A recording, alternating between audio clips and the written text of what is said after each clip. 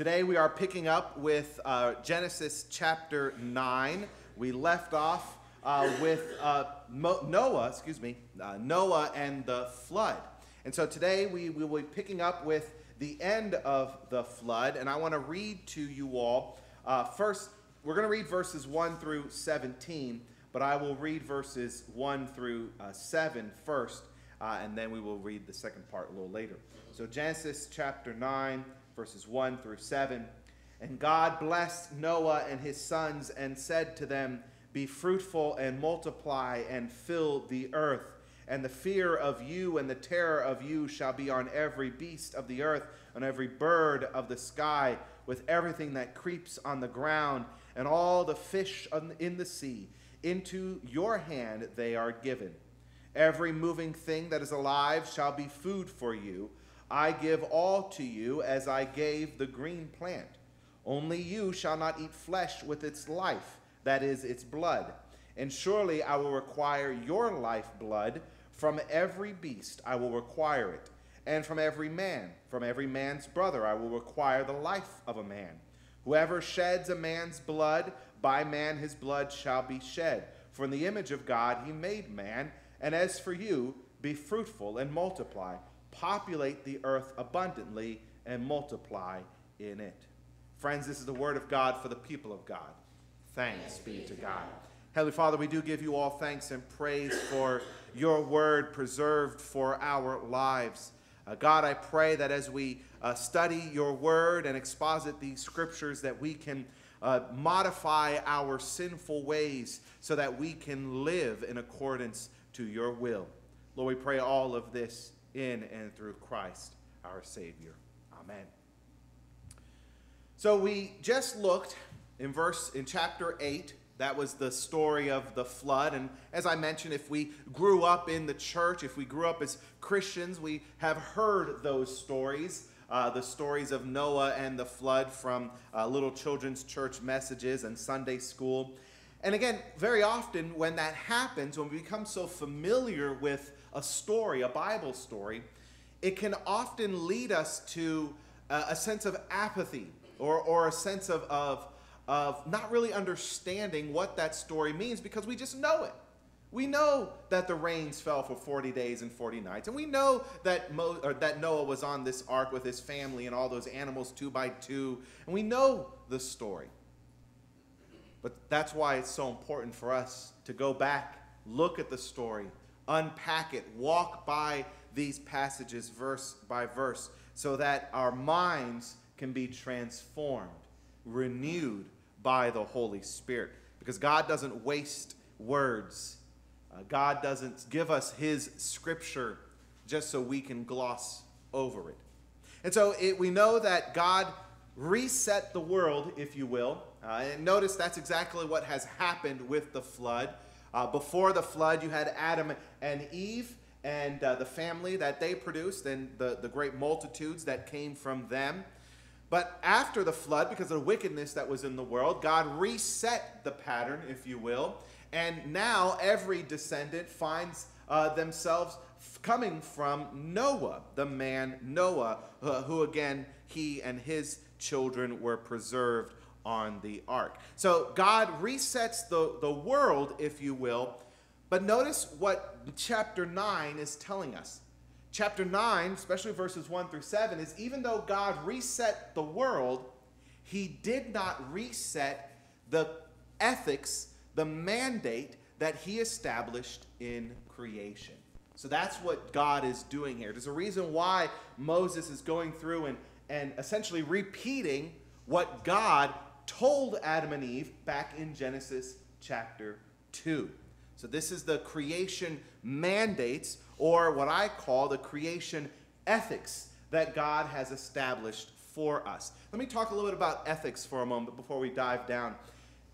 Some things that are, that are ethical are based on morality, right? We do things that are uh, things that are ethics or the study of ethics study the things that are good and the things that are bad. Um, now, eh, of course, we know that morality is defined by God. we don't get to define morality. That's not something we have the luxury or even the, the, uh, the call to do.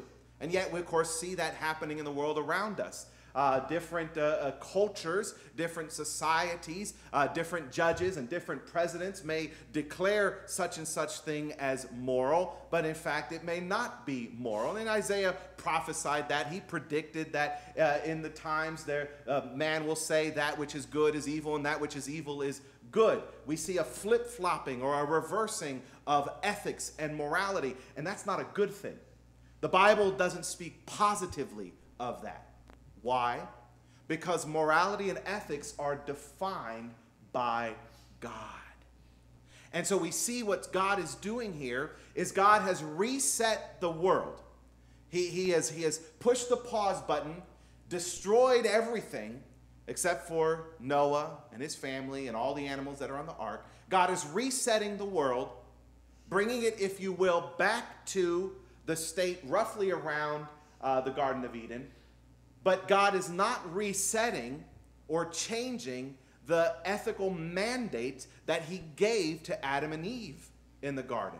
This is how important God's commands are first to him and second to us.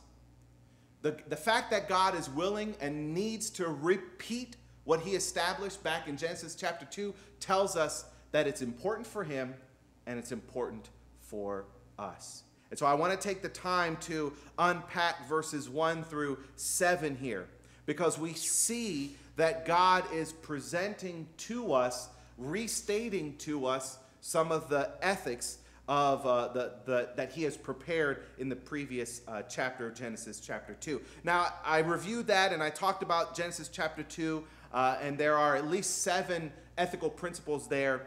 In this instance, God repeats three of those seven. Uh, but I, I, argue that uh, all of them are, are present and all of them are present in the rest of Genesis. But for our purpose, uh, God highlights only three here.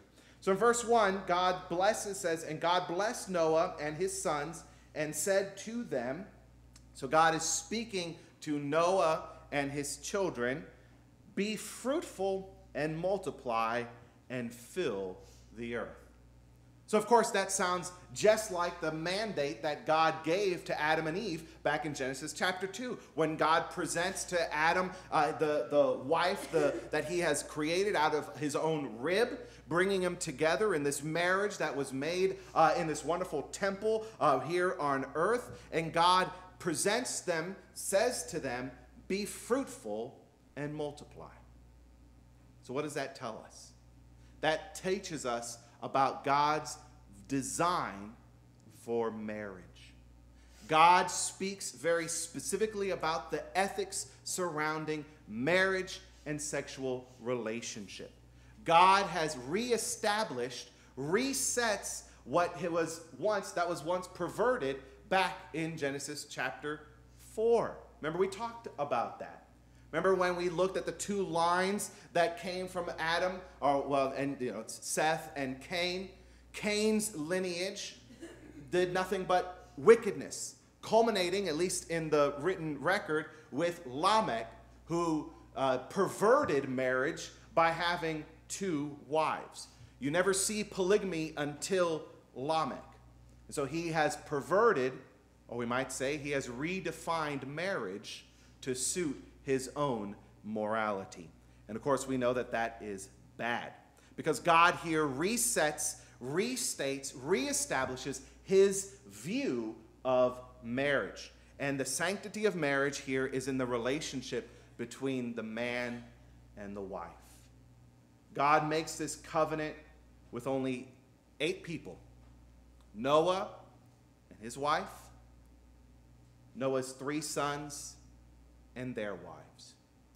There we see the covenant mandate, the ethical principle of what marriage is to look like. It is one man and one woman. We see here that marriage then is a divine institution. God reestablishes it because it is His design, it is His plan. We saw that God was doing that in Genesis chapters 2, where God put Adam and Eve together and wedded them. You know, we, we talked about the end of Genesis uh, chapter 2, where uh, Moses uh, seems to talk about, uh, uh, goes off on a, on a side tangent and, and narrates for a moment. Genesis chapter 2, verses 24 and 25. For this cause a man shall leave his father and his mother and shall cleave to his wife, and they shall become one flesh. So there we see that Moses is, again, sort of narrating for us the cultural mandate, the ethical uh, principle that God established in Genesis chapter 2, and it is being repeated here be fruitful and multiply. So, if marriage was not a divine institution, if marriage was something that we could redefine and, and change however we want because it was just a cultural thing, then God would never have reestablished it after the flood. He would have said, Go on, I don't care. Do what you want. But he didn't. He reestablishes for us the ethical principle of what marriage is to look like. And so, marriage then is a divine relationship. It's a divine relationship. It's a relationship that was created by the divine. God established it, God ordains it, God defines it. But it's also a godly relationship. It's a relationship that is to be modeled after the principles that God has set forth. It's a good thing. Marriage is a good for us. Now, of course, we live in a fallen world. We don't live in a perfect world, which means we don't have perfect marriages. We have uh, uh, parents who, uh, who do not love their children. We have husbands and wives who do not love one another. We know that our marriage relationships are broken. But we also know that God has given to us an ethical principle. And we must strive to live that way. If we know someone who is struggling in a marriage relationship that is broken, that is imperfect, that is abusive, that is in error, it is our responsibility as brothers and sisters in the faith to bear one another's burdens. I think that's what Paul is getting at when he says that in Galatians chapter 6. We bear one another's burdens as brothers and sisters in Christ. So if we know a single parent who is struggling it should be our responsibility to help them, to mentor uh, their children, to help them meet needs that they may be struggling with. Because marriage is an institution that is defined by God.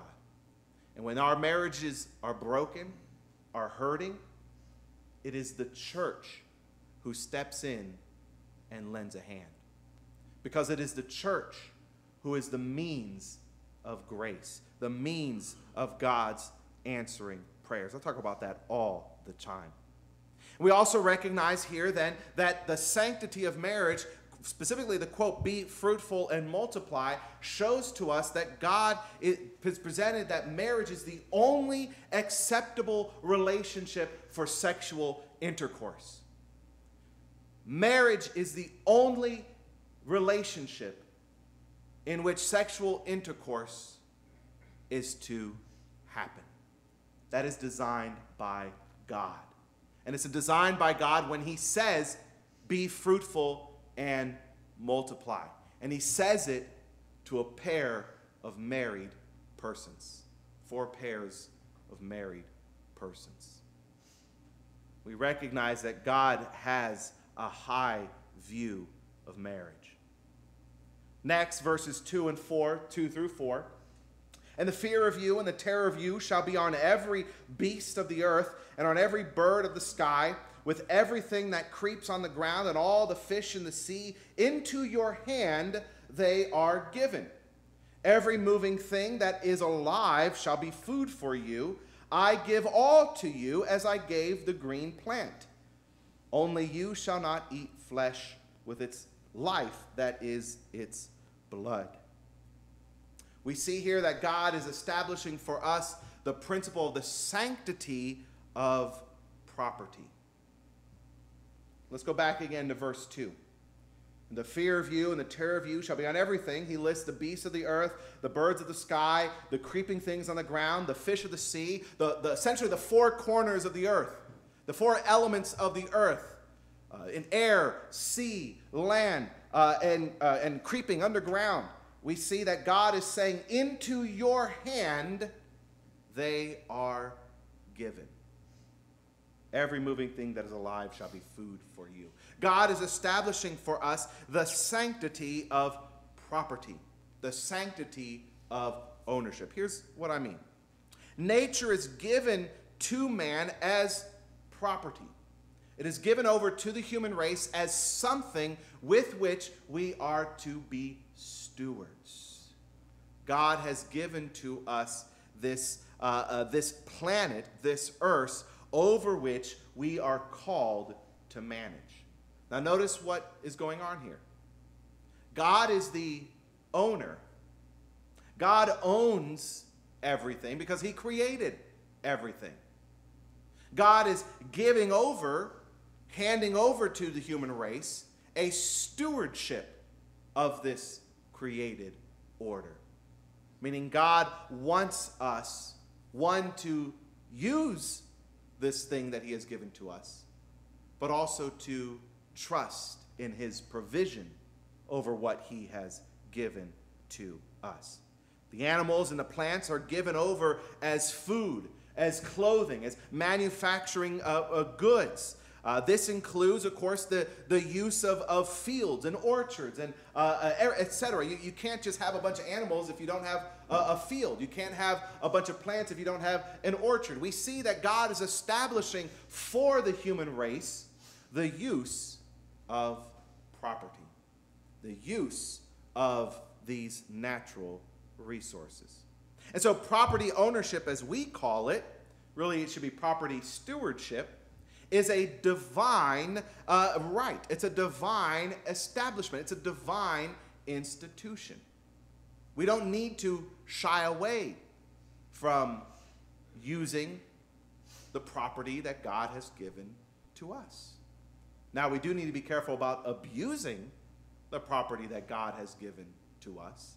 Just like our marriage relationships can lead to abusive situations, so too our uh, property and our business can lead to abusive situations. God has very stern, strong words uh, against uh, uh, managers and business people who withhold uh, the, the rightful earnings of their employees. That's written in the commandment, both in the New and the Old Testament. God has very important words to say to the, the master and the slave, to the business owner and the, and the employee. If you are a Christian, if you are in Christ, you are brothers, you are siblings. You are not to lord over one or steal from the other. God has some very strong words. Why? Because property, ownership, Stewardship, there I'd say economics, is a divine institution defined and directed by God. Of course, we uh, can see in the world today that property ownership is sometimes looked down upon, that industry and productivity are frowned that you don't have to be industrious, that putting your nose to the grindstone and, and, and putting the work that you have established, you don't need to do that. If, you're, if you don't like what your employer says, if you don't agree with your, what your employer is doing, if, if you don't, you, you can make a scene and do whatever you want. That's what society says. We don't need to look far to see how many uh, businesses are struggling to find employees because there's a wrong understanding of employment, productivity, industry. the reason why is because there is an absence of understanding the sanctity of property. God establishes, reestablishes the importance of that doctrine here in Genesis. Verses 5 through 7. And Surely I will require your lifeblood from every beast I will require it. From every man, from every man's brother I will require the life of a man. Whoever sheds man's blood, by man his blood shall be shed. For in the image of God he made man. And as for you, be fruitful and multiply, populate the earth abundantly, and multiply it. Here, what we see is the restatement of God's sanctity of life. Life is very important to God. If God didn't care about life, well, one, he would never have said this, and two, he would never have let Noah and his children repopulate the earth. God would never have saved all those animals two by two onto that ark if God did not care about life. God does care about life. God cares intimately about life, that he speaks on two ends, if you will.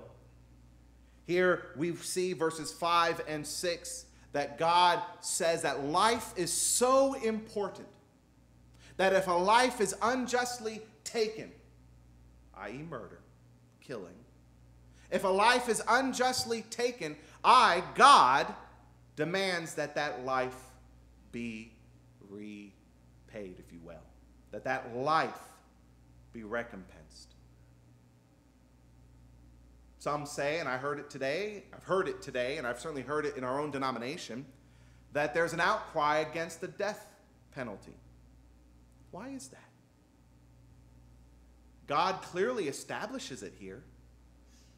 God repeats it in the New Testament when, through uh, the Apostle Peter, God tells us that the reason that authorities, that is the government, has the power they have is the power of the sword, which is the power to wage war and the power to punish wrongdoing. And yet, why do we think that the death penalty is unrighteous? Now, can it be unjust? Yes, it can. And God is fully aware of that. God is fully aware that the laws that he establishes, that, that the laws that people put in place can and have been abused. For instance, King David, beloved King David, the, the, the most righteous king of Israel. What did he do? Well, not only did he have an adulterous relationship with Bathsheba, he had her husband killed. He, as the king, certainly had the rights given by God, the divine right to wage war with others, which is what he was doing. He, certainly, as the king, the commander in chief, had the right to send Uriah to the front line. But notice the motivation. The motivation was to get rid of him. And that is what Nathan says was wrong. And he repents, thankfully but he was in a grave error for misusing the authority that God had given to him as king. That's a biblical example. Of course, we don't have to look very far to see examples in our own times and in other parts of story, history, and scripture. We know that power can and is abused, that life is often misused that life is thrown to the wayside for comfort, for ease, for greed, for more power, well, God will judge those who look at life in such a dark manner. But we see that God is establishing here the importance of human life. If you take a life, it is owed to God. And he establishes in the law what that looks like. But not only on that end, on the other end, so that's the death end, verse 7, we see the life end, the new life end. And as for you, be fruitful and multiply. There again, he's repeating the creation mandate to go and be fruitful, the fruitfulness, populate the earth abundantly and multiply in it. So if God says this, to be fruitful and multiply, you better believe that God cherishes the life that is in that womb. The murder of babies on the altar of convenience is a mass sin against God. And you better believe that the judgment that is upon this nation is because, in part, of the millions of babies who are dead before the feet of God. God cares about life, all life. He establishes it here in Genesis chapter 2, in Exodus, in Leviticus, in Deuteronomy, in every book of the Bible. God cares about human life. The sanctity of life is so high up in God's heart that He puts forward for us the codes and prescriptions that are required of us. Let me read verses 8 through 17. Then God spoke to Noah and to his sons with him, saying, Now behold, I myself do establish my covenant with you and with your descendants after you, and with every living creature that is with you, the birds, the cattle, and every beast of the earth with you, and of all that comes out of the ark, even every beast of the earth. And I will establish my covenant with you. All flesh shall never again be cut off by the water of the flood, neither shall there again be a flood to destroy the earth. I'm going to stop there. What God has now established for us in restating the covenant ethics in verses 1 through 7, God is now establishing the covenant seal, the visual sign, if you will, of the promise of this relationship that He has established. And God, let me back up and just say, God has every right to do that.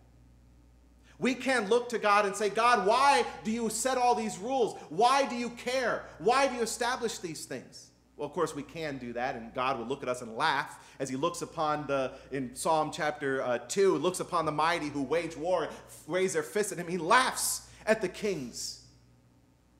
God laughs at us when we try to raise our fists at Him and say, God, why do you want to do all this? The reason why is because He's a creator. He has every right to do it. He is the one who brought you into existence. He is the one who brought this terrestrial ball into existence. He has every right to tell us how he wants it to be run. And as a sign of that covenant seal, he places, as we'll see, in the heavens the rainbow. But I'll get to that in a second. Notice here what God doesn't do. Verse 11 And I establish my covenant with you, and all flesh shall never again be cut off by the water of the flood, neither shall there again be a flood to destroy the earth. God doesn't say he's never going to destroy the earth. God doesn't say he will never punish wrongdoing. God doesn't say that we have a license to do whatever we want. God simply says, I will not destroy by water. And we talked a little bit about that. Uh, a few weeks ago, we talked about the imagery of the flood as baptismal waters. In baptism, baptism is a sign of new life, of dying to the old self, but rising into new life, into a new creation. And so God will not destroy the earth with water, which is the sign of new life. Rather, as we know from Revelation, God will destroy the earth with fire. And fire is a more cleansing, a more purifying element, which I'm sure we'll discuss at a future point. Water will no longer be used to cleanse the sins of the people. Only the blood of Christ will be used to cleanse the sins of the people. And so, again, water baptism is that sign of the cleansing of our sins by the blood of Christ.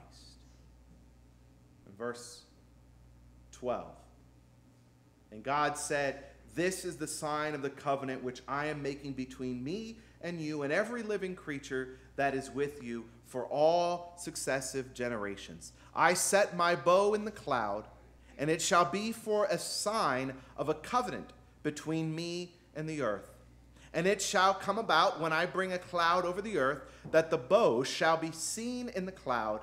And I will remember my covenant which is between me and you and every living creature of all flesh, and never again shall the water become a flood to destroy all flesh. When the bow is in the cloud, then I will look upon it to remember the everlasting covenant between God and every living creature of all flesh that is on the earth. And God said to Noah, This is the sign of the covenant which I have established between me and all flesh that is on the earth. We talked a little bit about uh, back, I guess, back when we looked at chapter 8, uh, where God remembered Noah out on the sea. And I talked about that God didn't forget about them. Perhaps from Noah's perspective, God forgot about them. Moses is writing in human terms so that we can understand God. He's doing something similar here. It's not that God forgets his covenant and needs reminders every time, so, you know, oh, oh, there's a grain cloud. Oh, I'm not supposed to destroy people. Let me, let me not do that. God doesn't work that way because God doesn't forget. What God is saying for us is establishing in the sky with that rainbow the promise that God will never destroy flesh with water. Rather, God will redeem by the waters of baptism. And when we look at when he looks upon it, he sees this sign that he's placed in the sky. And I was curious because Moses does repeat it a couple times here that God says, "I will see it and I will I will remember this that I have established this covenant." And it got me thinking. Remember what led to the flood in the first place? It was the violence that was upon the whole earth. Indeed, God is, that's what God tells Noah. That all flesh, the intent of man's heart is wicked from his youth. That's what God says to Noah. The intent of man's heart is wicked from his youth. And so, in a sense, it, it is almost as if God is saying, whenever He puts that rainbow in the cloud, in the sky, saying, I look upon this terrestrial globe, this planet whirling in the sky, and I see nothing but iniquity. We don't like the idea of God is mad and people are bad. Well, that's the story of the scriptures. God is mad because people are bad. But God is also gracious. When God looks upon this earth and sees the wickedness that we do, the wickedness that each of us commits in our own hearts, because you know it's true and you know it's there, the wickedness that our nation does, the wickedness that all the nations do against God, God, as a creator, has every right to get rid of it all. But He doesn't because he is steadfast to his promise. He is true to his word. And so God doesn't destroy us. Instead, what God will do is he will send a redeemer. This is what this covenant promise is pointing us to. It's as if when God says, I put this rainbow in the sky, and I look upon the wickedness that's in the world, and it reminds me to stay my hand. Why? Because I am sending a Redeemer who will cover the sins of my people. I am sending one on which my wrath will be poured out. I am sending one on which will be a propitiation for all of their sins. And my anger will no longer be against them for it will be on my own son. That day will come. That day is promised. And of course, we look back and we say, that day has come. Thanks be to God that Christ went to that cross to take the fullness of God's wrath, which, which he held back with the sign of the rainbow, trusting that he will indeed save those who are covered by the righteousness of Christ. I pray that we recognize that we are covered by that righteousness. And in that righteousness, we ought to do what is pleasing to God. I'm going to end here, but I'm going to say next week we're going to be, it's Reformation Sunday, and I'm going to shift gears. We're not going to talk about Genesis, we're going to talk about Galatians. And we're going to see what Paul talks about in living in this life of the Spirit, this new life that God has given to us in Christ. What does it mean to not live in the flesh, but to live in the Spirit? That'll be next week. Until then, let us pray. Heavenly Father, we do give you all thanks and praise for, first of all, your redemptive grace that we have seen witnessed in the life of Noah and his family. Lord, you did not have to save them, but you did. Likewise, you do not have to save any of us in this room, but you have. And so, God, we look upon your grace with awe and gratitude, knowing that we just love you because you first loved us. Likewise, Lord, as new creations, as uh, regenerated persons who live in the Spirit and not in the flesh, we learn that we must trust you, that we must live as you command us to live. And Lord, I pray that you move our hearts. Where there is error or sin, where we wish to raise a fist against you, God, I pray that you teach us it's not something that's wrong with you or what's wrong with your scripture, but something that's wrong in our hearts. And thanks be to God, our hearts can be changed. So I pray that your Holy Spirit renew us, transform us, take away our desire of sin and replace it with a desire to do what is pleasing to you. We pray all of this in and through Christ our Savior. Amen.